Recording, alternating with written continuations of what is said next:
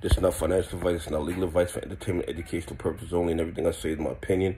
Please don't make any financial decision based on anything I say in these videos. That being said, hit the like button, subscribe button on the YouTube algorithm so get the videos I put them out, see what I'm thinking, see I'm analyzing that data. Listen, they are playing with us.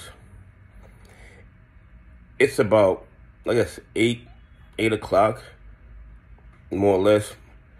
And they are letting Ape and AMC run a little bit in the pre-market.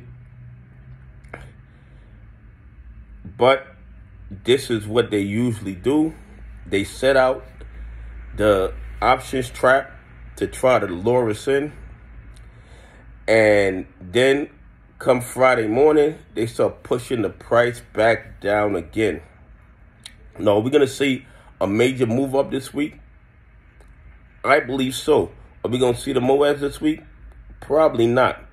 But I believe they're going to let it run a little bit in order to try to get some of the apes to sell their ape shares and sell their AMC shares.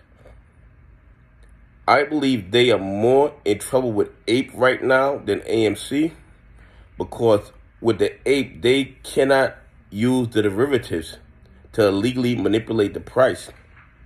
All they can really do is keep trading in the dark pool, doing these shenanigans, their criminal activity in the dark pool to kind of control the ape share, moving it back and forth. AMC and ape are probably the only shares in the history of the market where the buys are four or five times the sells, yet the price keep going down and nobody is selling.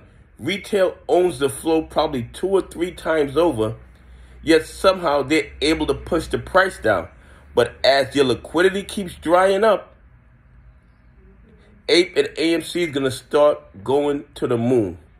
Anyway, hit the like button, subscribe button on the YouTube algorithm and tell me what you think about them letting Ape and AMC move a little up in the pre-market. Anyway, have a great day. God bless. I appreciate y'all on the journey with me.